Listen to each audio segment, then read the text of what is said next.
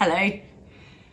It's been suggested by many people, including psychologists, teachers, and stationery suppliers keen to sell you another notebook, that a good way to have a positive attitude is to keep a gratitude diary or write five things that make you happy each day. Psalm 126 shows us an even better way, one that allows for the reality that life won't always be easy and one that allows not only looking backwards with joy, but forward with hope. Let's read Psalm 126. When the Lord restored the fortunes of Zion, we were like those who dream. Then our mouth was filled with laughter and our tongue with shouts of joy. Then it was said among the nations, The Lord has done great things for them. The Lord has done great things for us, and we rejoiced.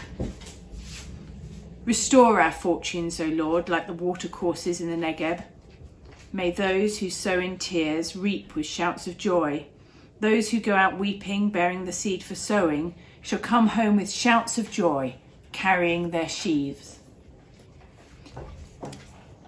As the Israelites travel up to Jerusalem to worship the Lord, they carry on singing their songs. And this one speaks of the ups and downs of life, and it's divided into two distinct parts. In the first part, they remembered with joy. They said, Do you remember when things were so good they seemed dreamlike, when we laughed and shouted for joy? They remembered what had happened, but importantly, they remembered also who had caused it to be so good. And they said, The Lord has done great things for us. They rejoiced, and as they did so, they worshipped the Lord. In the second part, they looked forward with hope. Things are more of a struggle now, with tears and weeping and a downturn in fortunes.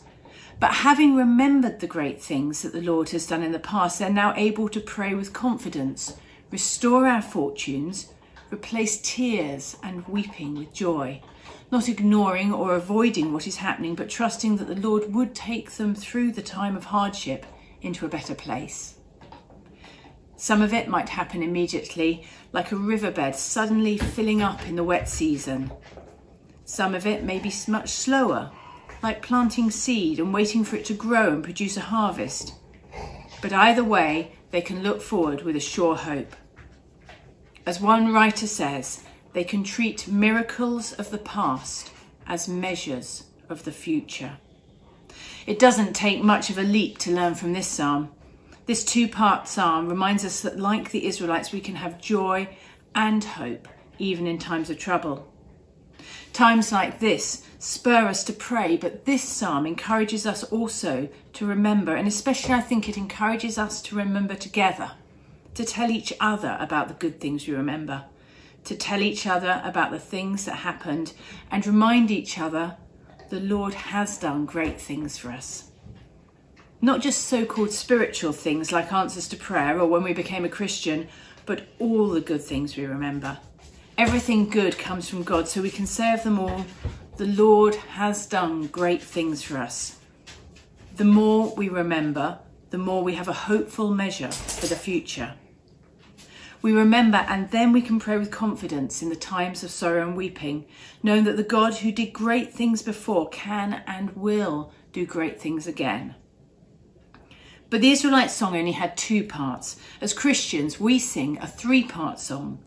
We can look back with joy at the great things God has done, but we can also look forward with joy because we know that one day there will be a new heaven and a new earth where God will be with us, wiping tears from our eyes, where death will be no more, mourning and crying and pain will be no more.